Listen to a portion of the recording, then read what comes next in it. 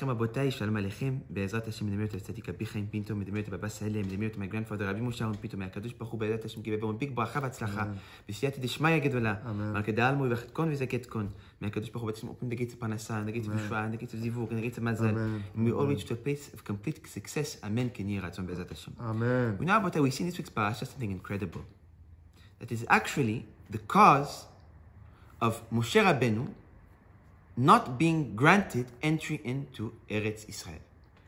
It says in the Torah Kedusha, this week's parasha, Miriam Neviah passes away, she goes to her world, and now Bnei Israel are sitting in the desert and they have no water to drink. So HaKadosh Baruch Hu comes to Moshe Rabbeinu and tells Moshe Rabbeinu, go to the stone, talk to the stone, and the stone will bring water, and that water will be able to, to feed all Bnei Israel and all the, the, the, the crop and all the, the animals that come with them. Moshe Rabbeinu calls Aaron a Cohen. They take the stick, they go to the stone, and the Torah says, instead of talking to the stone, Moshe Rabbeinu hits the stone. As a result of that, Chazal say, because Moshe Rabbeinu hit the stone instead of talking to the stone, his punishment was that Akadosh Baruch Hu did not allow him entry into Eretz Israel. So now, Botai, something that it bothers me, even the thought of that. First of all, what makes a difference between hitting the stone and between talking to the stone?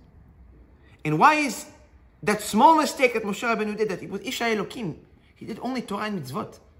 What now Akadosh Baruch Hu acts with such severity for the smallest mistake instead of uh, talking he hit? And why is that enough of a pun- uh, of a sin? Why is that enough uh, tangible enough that Hakadosh Baruch Hu punished him to the point where Moshe begged and cried 500 times to enter Eretz Israel and he was not allowed?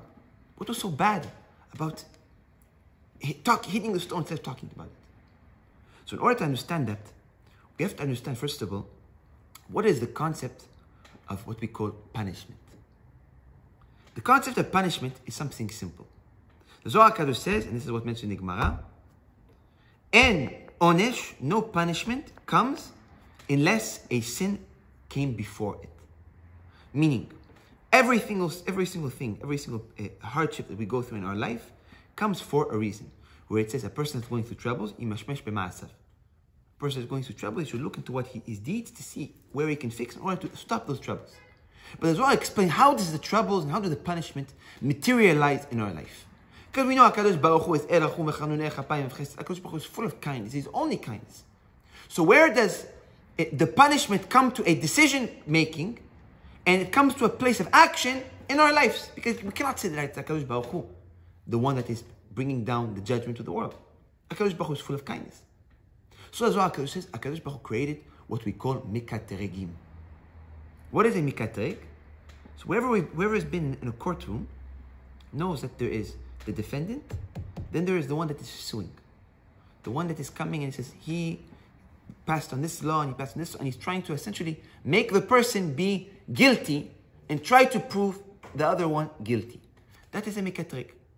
HaKadosh Baruch Hu created angels, which are from the left side, the negative side, that their job is to search where a person created a flaw, created a, a, a lack of consistency in the resp- in the kvod kucha in the respect of Hakadosh Baruch Hu, and once there is that flaw, they have something they could come and sue on.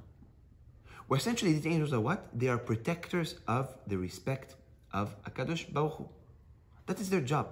When we sin, we essentially diminish Hakadosh Baruch Hu's respect. Because when, if you if Hakadosh Baruch Hu asks from you something, and you don't perform it in the correct path, or Hakadosh Baruch Hu said do not do something, and you did it, clearly, the respect of Hashem to a certain level was diminished. Those angels search where Hakadosh Baruch Hu's respect was diminished, and as a result, they come forward and they sue, and they try to chas v'shalom, uh, bring a person to a place of, uh, of, uh, of, of receiving punishment for that place. And that's essentially what we call Rabotay, the whole concept of tikkun. The tikkun is what? The reparation of the world is repairing the kvod, the Kudsha Berichu, repairing the kavod of Akadosh Baruch Hu. And that's why we say that people that do teshuvah are at much higher level than people that are tzaddikim. Because the person that did teshuvah repaired a piece of the kavod of HaKadosh Baruch Hu, not just to himself, but even to the public. Where he shows the word, look, I came from a bottom place and I'm here and I came close and I brought change in my life in order to respect HaKadosh Baruch Hu and his kingdomship. And that is why those who do teshuvah are at such a high level. We can also learn that one, if he wants to repair chas v'shalom sin, what he needs to do is repair, if he wants to go to the root of that at least, repair the respect that was flawed, the respect that was diminished. Let's put that aside.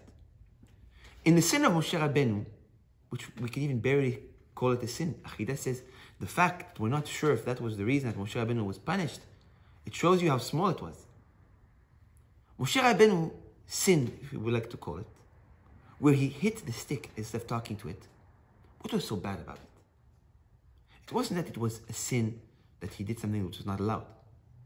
It was because he diminished the kavod of Akadosh Baruch Hu in a certain level. Where the Zohar says maybe we can explain it in a way like this. Imagine what teaching would, we would be able to teach our kids that when Bnei Israel needed water, Akadosh Baruch Hu told the stone to bring water, and the stone being an inanimate object, respected Akadosh Baruch Hu's will, and took out water and fed all Bnei Israel. Imagine what a teaching we would be able to pass on for generation, davar tziva le'elef dod, for, thousands of years. The fact of how even a stone respected the will of Hashem. And that teaching that could have been so beautiful, that could have inspired so many people, that could have greatened the, uh, uh, uh, the kingdomship of HaKadosh Baruch Hu, that the stone listened to the will of Moshe, which was sent by Hashem, was all destroyed when Moshe Rabbeinu hit the stone instead of talking to it. Really, what did Moshe Rabbeinu do? He pulled down to a certain degree future respect and future greatening of HaKadosh Baruch Hu's kingdomship. As a result of that, Mikatrigim, those who search to find where HaKadosh Baruch Hu's respect was diminished in order to bring someone to a place of judgment for that uh, disrespect, came forward and they had grasped for the first time when Moshe Rabbeinu. When Moshe Rabbeinu until now did not never gave them any grasp to hold on to. He never allowed the Mekatragim to bring a judgment to Moshe Rabbeinu because there was no place where Moshe Rabbeinu brought a diminishing for the, the, the, the respect of Kudsha Berichu. But here, the one time when Moshe Rabbeinu avoided even future respect and future honor that HaKadosh Baruch Hu could have been received and could have, we, we, we could have repaired. For that, the Mekatragim brought upon Moshe Rabbeinu a grasp to punish him. But we can learn about something incredible from this teaching. We can learn from here that in our life, we can all relate to the fact that we're not always perfect.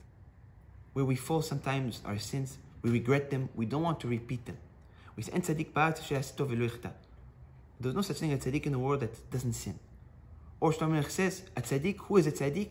The tzaddik is the one that falls seven times. Not the fact that he falls seven times. The fact that he's able to get up seven times. So we all want to change. We all want to be good. Nobody wants to be chas shalom flawed. But in the course of our life, we have situations where we fall. So it's not about the fact that we fell, it's how we get up from the fall. So how can we all, Rabotai, bring upon ourselves a place where we clearly recognized our wrongdoings. That's the first step that we all need to do, to recognize where we did wrong. But the second step is how can we clean the effect of that wrongdoing? To clean the residue that was left from that wrongdoing. Maybe we can learn from here something simple. If we want to clean and to take away the grasp of those mekatragim, those who are trying to find a place to bring out judgment to the world, if we want to completely take away their grasp and the opportunity that they have to bring judgment, it's very simple. If what gave them power was a diminishing of the respect of Hashem, what will take away their power and what will bring us bacha is what? The greatening of the respect of Hashem. That's why we say that there is almost no bigger mitzvah in the world, and in that same very fashion, no bigger avera in the world than kiddush Hashem and chilul Hashem. Honoring the name of Hashem and chas v'shalom diminishing the name of Hashem. Honoring the name of Hashem, there is no mitzvah that is bigger than that. When a person gets up and he goes in the street and he does the Kiddush Hashem, where he shows the world that he, as a Jew, represents HaKadosh Baruch Hu, and represents the Torah, does something good, and shows the entire world what the Torah really stands for, the greatening of Malchuto, the Kudsha Baruch that he brings to the world, is something that you can only achieve in years upon years of mitzvot, and years upon years of good deeds. In that same very way, that one Chas V'Shem Chilul Hashem can destroy a lot. That's why that we should all find an act where we can bring respect to the name of HaKadosh Baruch Hu.